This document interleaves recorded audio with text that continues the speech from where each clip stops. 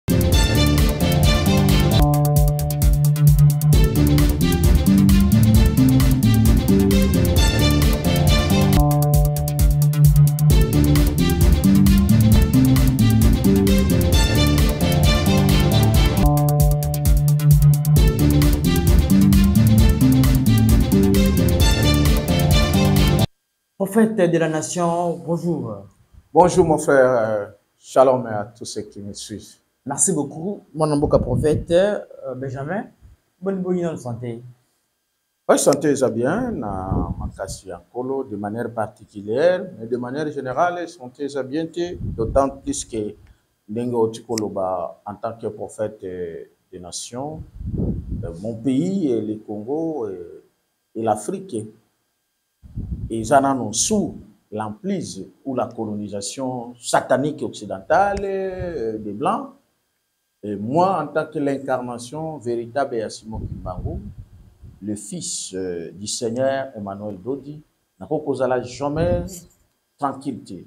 Et donc, Sante na ngai particulière eza bon parce que nazo bénéficier na ngolu ya lola mais sante ya mboka na ngai Congo le Congo de Simon Kimbangu le Congo du Seigneur Emmanuel Dodi l'Afrique du Seigneur Emmanuel Dodi et voire même l'humanité tout entière eza nano na kimia te donc nakozala na kimia bien te Oh, na ndenge ni mwana mboka oyo Fatshi atambusa mboka malamu mwana mboka oyo ke bozala kimia te ndenge ni gratuité d'enseignement donc toujours leke malamu yo bamboza na kimia te ndenge ni bon omoni ndeko na ngai journaliste euh, biso oyo nzambe tata apesaki biso miso na matoyi na ye tomonaka makambo lokola bato nyonso te gratuité de l'enseignement ekoki kozala Garantie te pona mboko ezala bien. D'ailleurs, pour vous dire que la vérité c'est que gratuité de l'enseignement ezo simba te. Toza pe en dehors ya kozala prophète, toza batu, toza na bana, bana biso bazo telengana na ba classe. Bazo futa mate. Ba, ba enseignants ba enseigner bango te. Il faut qu'on dise les choses claires. Et à cause de la gratuité et les enseignants oyo ba enseignaki biso ba, ba euh, biso nyonso ngai na yo mwa moke oyo totangaki bazolela nalandaki bango bazoleka na televizio bazosenga ne fuske 500 dollars ya pamba mais la classe politique oyo eza kosouffrire na les esprits égoïste ezozwa mbongo nyonso ezolia plus de 70% ya mbongo ya mboka mais kofuta kaka ba enseignants ne fils que 500 dollars ya pamba bakofuta yango te donc si ne peut pas dire que le pays va bien non ça ne va pas la gratuité ezokende na libungu tulu et tout va mal les gens meurent chaque jour et donc je peux vous dire que le pays ne va pas bien nous devons se dire la vérité en face ça ne ah. va pas oui ça ne va pas si j'insiste encore par rapport au renseignement l'enseignement c'est catastrophique C'est une catastrophe.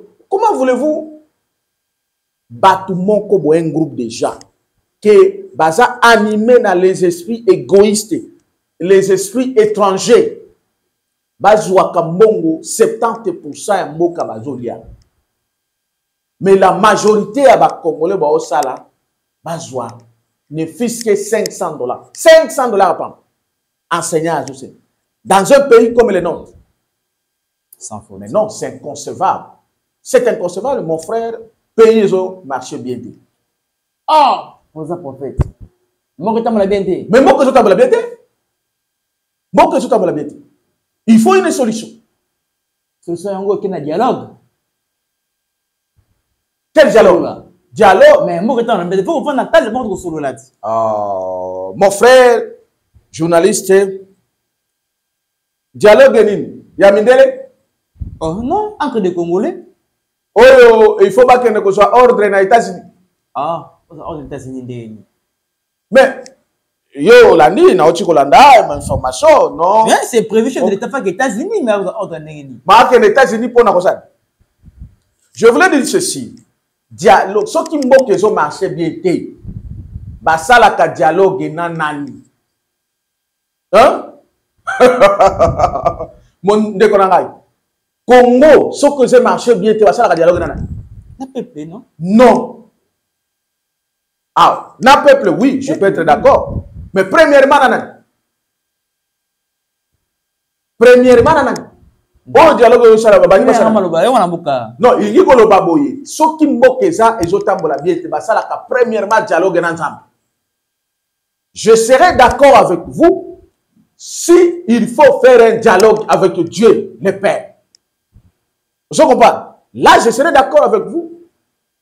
puisque lorsque mayele ya bato esuki esengaka mayele ya nani esala mayele ya nzambe na congo mayele ya bato esi esuki mais pas dialogue na classe politique oyo classe politique oyo ezosenga soki délivrance te bamoni le seigneur emmanuel dodi te adelivre bango te eza classe politique oyo fo kotia yango libanda a 90 pourcent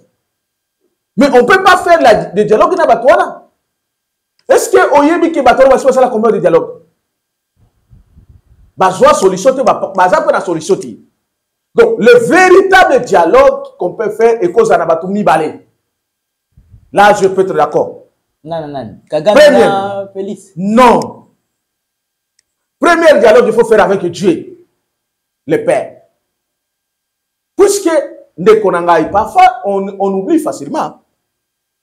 Le président Félix Tshisekedi, le 23 janvier, le 23 juin, je crois 2020, si je ne m'abuse pas, n'est-ce pas que aofraki mboko na maboko ya Nzambe abonzelaki mboko na maboko ya Nzambe na stade martyr mais si réellement que le président abonzelaki mboka maboko ya Nzambe je m'adresse à tous les pasteurs qui étaient là si réellement le président aofraki mboko na maboko ya nzambe Nous, on a soutenu cet acte, on a applaudi.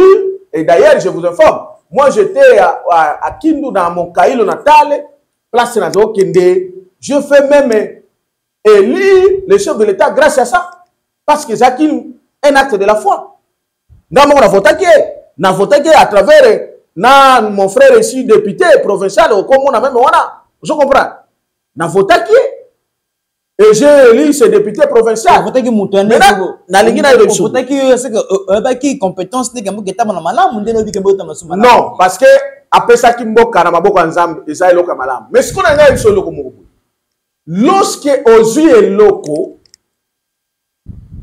opesi yango maboko ya nzambe ça veut dire quoi okoki kotambwisa lisusu mboka wana te sa konconsulte nzambe tata donc tout ce que okozala nango comme difficulté problème il faut consulte nzambe makambo oyo eyoleka lelo eleka deja kala ozo comprendre na lepoke a lepoke ya david david azalaki azotambwisa mboka na maboko ya na ndenge ya nzambe david abanda kosala nini davidi bayeli ye bitumba ava akende kobunda ake kokonsulte nzambe nzambe apesi ye soliso ake abundi bitumba alongi deuxième fois bameme bato wana baye mpo babundisa david David akende kaka kobunda ye moko na mayele na ye te azongi lisusu aye koconsulte nzambe ntango nzambe apesi ye solution aye lisusu abundi donc c'est pour dire quoi ntango opesi mboka na maboko ya nzambe okotambwisa lisusu mboka wana selo mayele na yo ti il faut kotambola nango selo mayele ya nzambe e mayele ya nzambe ebombani na basakoli bavéritable prophète dont le prophète benjamin kawanga l'incarnation de simo kimbangu et surtout alors surtout la bouche autorisée les représentants de dieu les pères sur la terre pendant ce temps le petit frère propres de christ c'est-à-dire emmanuel d'autres c'est lui qu'il faut les consulter donc, dès qu'on journalistes, journaliste, le dialogue qui est acceptable, c'est que le chef de l'État doit aller consulter le grand prophète Emmanuel Doty. Ça, c'est la première personne qu'il faut consulter. Donc là, tu consultes Dieu à travers son web. Si Emmanuel Dotti dit que aller au dialogue, nous allons partir. Mais s'il dit que il ne faut pas aller au dialogue, ça veut dire Dieu a résisté. Ça, c'est la première personne qu'il faut consulter. Deuxième personne qu'il faut consulter, s'il faut faire le dialogue, Il faut consulter le peuple. Il faut consulter le peuple.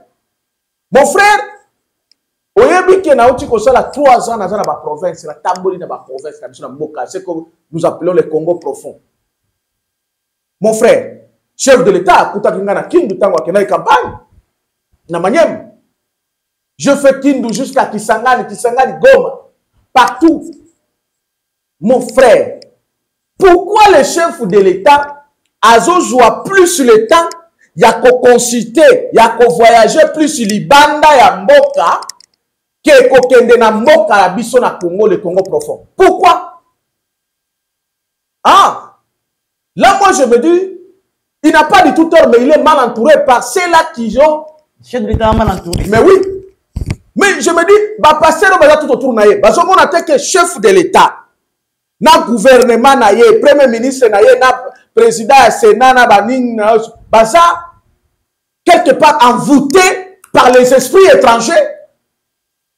ah. mais oui le chef de l'état entourage na ye baconseiller na bapremier ministre na gouvernement na ye vous ne voyez pas qu'ils sont envoûtés par les esprits étrangers parce que c'est impossible c'est inconcevable mon frère Comment voulez-vous un chef de l'État Il prend le temps, beaucoup de temps, d'aller à l'étranger que dans son pays.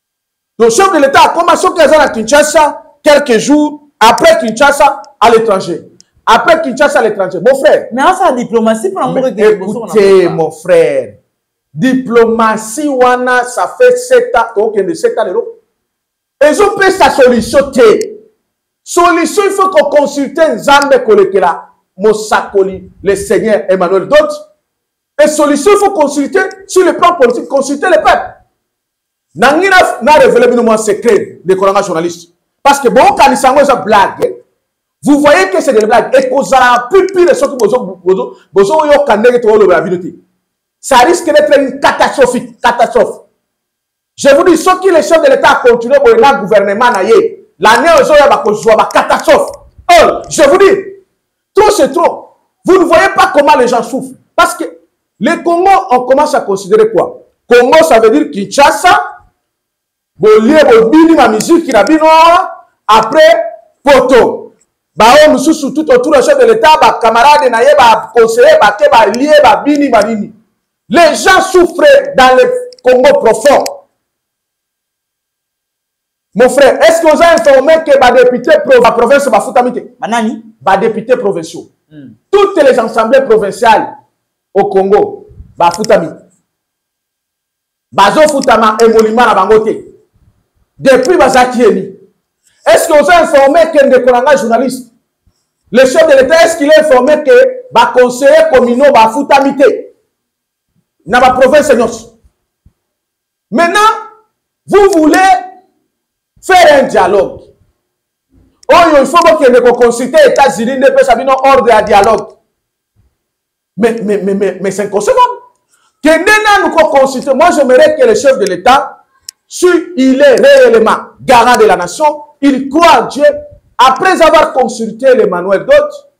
Le Seigneur akende consulter population. Est-ce que Emmanuel Dodo aza ba démarche ya kotala chef de l'État? Akende le Emmanuel Dodo aza ba démarche ya kosala te.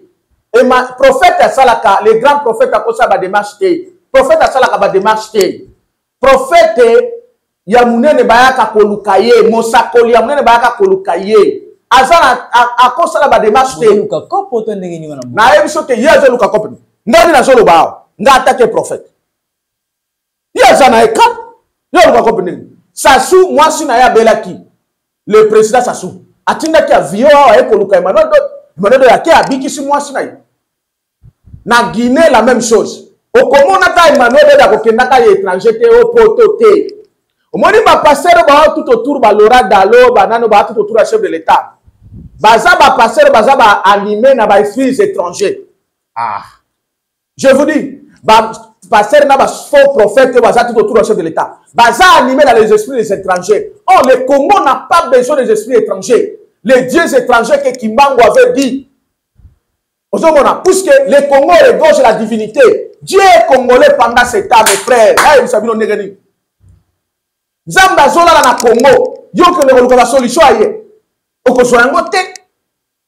Ce sont de faux prophètes. Balora dans l'offre, ba, ba, ba, ça la repentance, ba, cause de délivrance, c'est pas Emmanuel d'autres. Puisque ça n'est trop. Bozo ti cachem de l'État, zo kere na nzela ya mabe chaque fois parce que bino bozo na nzela mabe. On a bien question qu'on a. On se comprend. Je vous dis, sur le plan politique, le chef d'État, na lingi, akere na bo kananga, akenda bokananga na guvernema na ye parce que toyebi mama judite aza mpe moto ya libanda aza moto ya poto judite simwina premier ministre aa mpe moto ya libanda oyo mosusu président ya sena nani nkombo na ye jean michel aza mpe moto ya libanda atanga kuna na poto afanda kuna na poto vital kamere ndambu awa ndambu ya l'étranger bana ndenge nyonso baa libanda maintenant le chef de l'état ye moko libanda tout moment Non, nous sommes dirigés par les dirigeants étrangers, en quelque sorte. Comment bato boko diriger mboka boza makanisi na bino, milimo na bino, ma, nyoso na bino ezaka libanda ya mboka. Ce n'est pas possible ça. Ça doit s'arrêter. Chaque chose à son temps. Le chef de l'État a créé un gouvernement naïba. Ça la réunion, hein. chaque vendredi, hein. basali nanu reunion moko na kananga balongo baye kosala ata na mbujimayi nazopesa ye orientation c'est ça le vrai conseil qu'il faut donner au chef balongo wana bake osala na kindu balongo wana bake bake na nani na kisangani basali mpe base na bango na kisangani ozo comprendre la chef de l'état atuna mpe population wana bolingi tokende dialogue parce que na, ba, na dialogue wana bapiège eza ebele bapiège eza ebele so tuna mpe bon bino bapoliticien bolobaka tuna base est ce que la population congolaise est elle d'accord tokende dialogue Kotuna kaka o oh, Kinshasa oyebi ke ndeko na nga journaliste tikana na loba malembe. Hein? eza na milimo moko oyo ezotungisa congo ekomi kokanisa bato ke kinshasa nde congo kinshasa eza congo te mbongo oyo tozolia awa na kinshasa ngai na yo tozosala baambiance na baoyo baomela bamasanga awa eutaka na baprovince na 26 province wana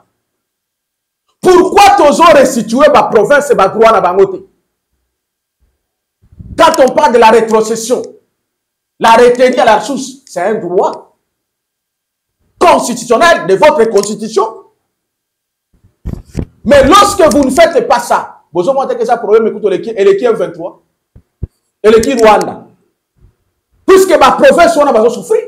Ba député provinciaux, on a, faire vivre les familles. Dans chaque territoire, chaque député va faire vivre des familles entières. Des, des millions de familles. Mais bazo foutamate. Ba conseiller communaux, bazo foutamate. Mais le chef de l'État, temps na ye mingi eza kaka libanda oyini betise moko nauti komona na batelevizio na bino ya quelques jours awa namoni chef de l'etat ah nzambe na ngai que dieu bénisse et délivre mon afrique chef de l'etat bachef de l'etat africain baza wana pembeni ya président ya chine abengi bango coopération chine afrique epuis bachef de l'etat baye mpe bango nyonso bazovimbavimba c'est l'esclavagisme donc tolongwe na colonisation ya, ya, ya l'occident ya europe tokomokende na colonisation ya, ya asie vous voyez dans ce congo oyo nzambe aza nango ndeko na nga journaliste pourquoi okoki koloba te ke qui est un dialogue ou bien qui est une rencontre entre le chef de l'état congolais avec tous les présidents occidentaux de l'europe mpo nini ekozala te avec tous les présidents d'asie chine aza na richesse nini biso toza nango te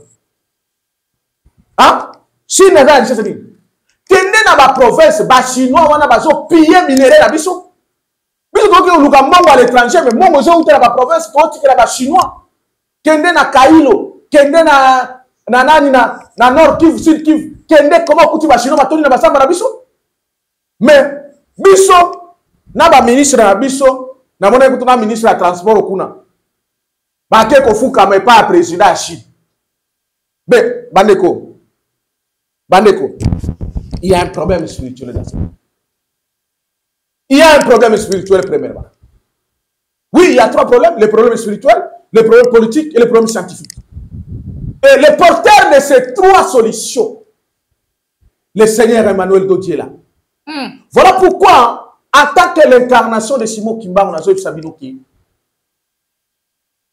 Vous êtes en train de perdre le temps. Nalibanda à l'étranger. Il n'y aura rien à l'étranger. Dialogue et Oboko au Sala. C'est le commande à l'étranger. Commandement à l'étranger et Kozalana et côté. Et je vous dis, soki le chef de l'État ayoki biso te, akei na ba province te, l'année okoya, a continuer kozala kokenda libanda ndenge azokendaka chaque fois à l'étranger, ba catastrophe ekozala mboko. Eh. Ah oui. Parce ah. que Dieu n'acceptera pas de continuer bongo et puis peuple congolais azo continuer ko souffrir. Dès que journaliste ozo kama, bilenga biso eloko moko boye.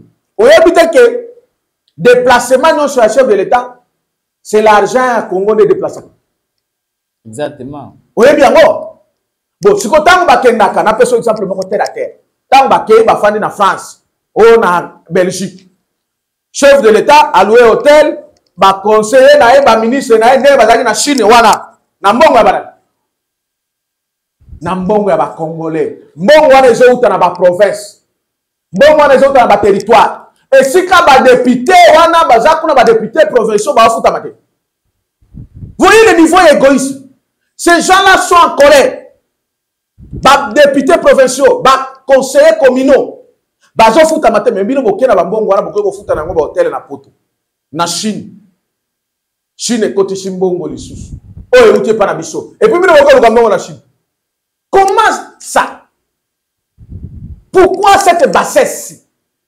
pourquoi cette colonisation spirituelle et politique et matérielle qui doit continuer jusqu'aujourd'hui ah non ah non le temps d'entrer dans l'accomplissement des prophéties de simon kimbangu etali Ah non, le dialogue ne peut que se faire ne peut qu'avoir ce présent, euh, son utilité quand on considérera Dieu à travers son représentant, qui est Emmanuel Dote.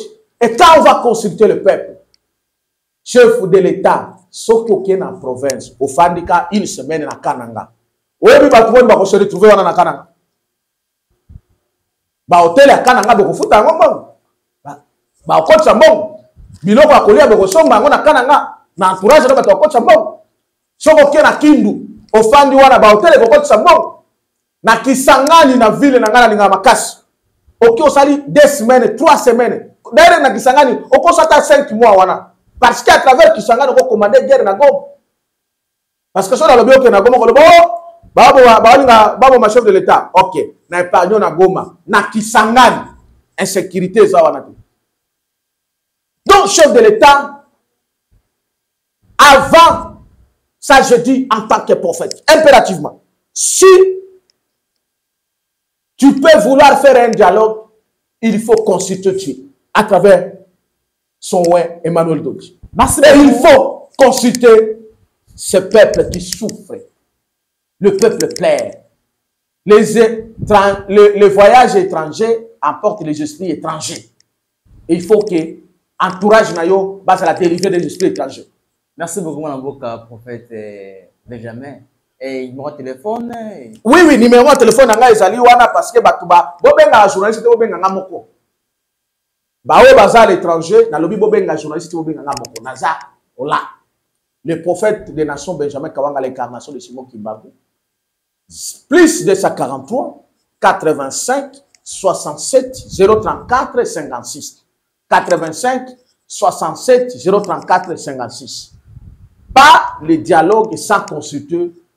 le grand roi divin Emmanuel Doti, prophétisé par Simon Kimbango.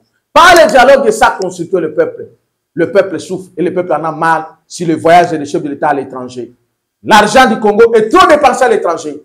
Qu'il faut que la délivrance des esprits étrangers. Trop, c'est trop. Merci.